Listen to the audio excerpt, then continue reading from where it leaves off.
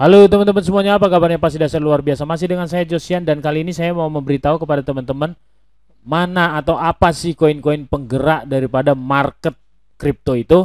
Nah, sebelum kita mulai, teman-teman silakan subscribe, like, dan komen dan share video ini supaya semakin banyak orang yang mengerti tentang aset kripto, aset masa depan.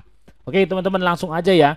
Jadi kalau saya perhatikan ya selama ini koin-koin yang berfundamental cukup oke, cukup bagus dan sebagai penggerak pasar adalah seperti ini teman-teman.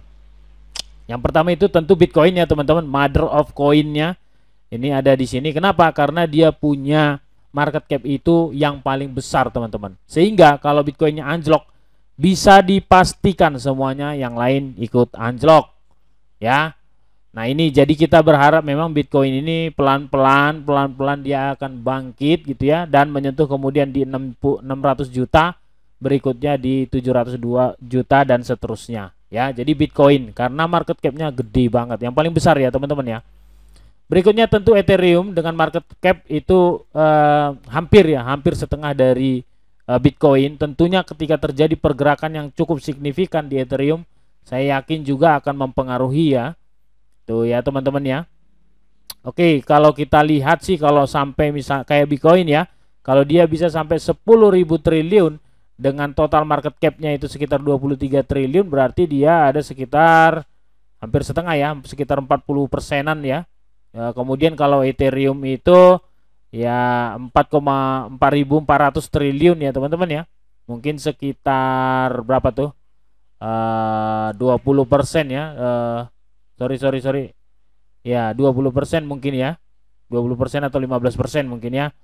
Kemudian ada Tether ada uh, Binance terutama ya teman-teman juga. Itu cukup gede juga.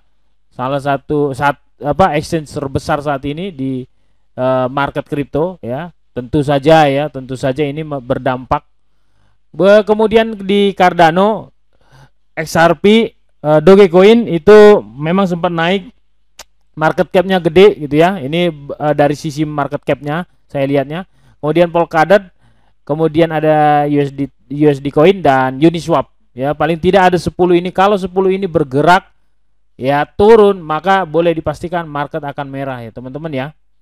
So teman-teman ini kita lihat lagi. Di sini juga saya tunjukkan kepada teman-teman pergerakannya biasanya mirip ya teman-teman. Mirip. Jadi kalau misalnya ini BTC USDT ini lagi naik terus kemudian ini mau turun perhatikan teman-teman yang lain itu mirip teman-teman. Naik terus kemudian mau turun. Ya, ini apa ini? BNB ya. Naik terus kemudian mau turun.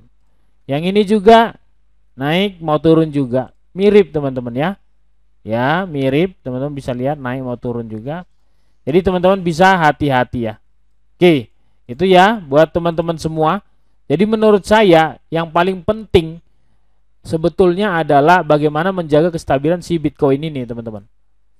Itu sebabnya kalau teman-teman cek kemarin-kemarin berita-berita informasi-informasi itu berkaitan dengan Bitcoin teman-teman. Bitcoin yang mereka hajar supaya harganya turun karena memang udah tinggi banget ya. Itu. Jadi kalau kalian lihat uh, apa namanya CoinDesk berita-berita di CoinDesk itu maka berita-berita itu muncul yang negatif-negatif kemarin teman-teman. Sekarang sih udah mulai positif ya teman-teman ya. Udah mulai positif jadi menurut saya udah cukup oke okay, gitu. Tapi prinsipnya adalah mereka hajar dulu yang pertama itu adalah berita tentang Bitcoin. Seperti kita tahu Cina mengatakan menolak gitu ya, tidak akan menerima yang namanya Bitcoin. Tuh. Terus kemudian ketika Elon Musk juga mengatakan kami tidak menerima Bitcoin karena begini begono begini begono. Intinya mereka tidak terima Bitcoin, Bitcoinnya hancur, anjlok. Lalu kemudian Iran juga menolak Bitcoin. Ya, turun lagi walaupun tidak terlalu besar. Jadi bisa kita simpulkan madernya yang dihajar teman-teman. Karena kalau ini dihajar turun, maka altcoin altcoin yang lain itu secara otomatis dia juga akan turun teman-teman. Nah ini yang ke depannya harusnya nanti bisa lebih independen ya. Jadi antara satu koin dengan koin yang lain itu seharusnya nggak tidak terlalu berpengaruh seharusnya. Ya membuktikan bahwa dia decentralized ya. Itu ya teman-teman ya. Jadi kalian supaya paham juga. Jadi kalau kalian mau beli belilah sebenarnya di koin-koin ini yang memang berfundamental bagus. Kalian tinggal tunggu aja, maka nanti dia akan naik. Sip, itu aja ya dari saya. Semoga kalian mengerti uh, tentang kripto dan jangan lupa tetap sabar teman-teman. Kalau market lagi merah seperti ini, yang bisa kita lakukan adalah cuma bersabar. Ada yang komen di video saya beberapa orang, ah channel ini cuma ngomongin sabar, sabar. Mentalmu beda ya.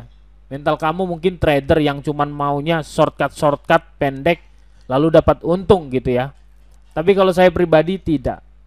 Saya mau hold jangka panjang sehingga nanti hasilnya juga bisa jauh lebih besar daripada para trader, teman-teman. Sip, itu aja ya. Semoga ilmunya bermanfaat. Tetap sabar kalian, tetap invest di tempat yang benar supaya kalian dapat hasil yang maksimal. Sampai ketemu di video selanjutnya dan see you. Bye bye.